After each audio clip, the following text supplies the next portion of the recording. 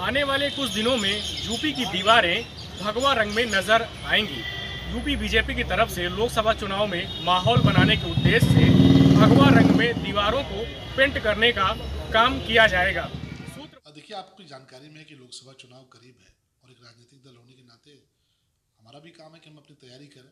तो निश्चित तौर पर जो हमारा जो प्रचार विभाग है, साथ ही जो हमारे कार्यकर्ता साथी हैं, वो जनता के बीच में कैसे हम अपनी बात एक प्रभावी ढंग से रख पाए।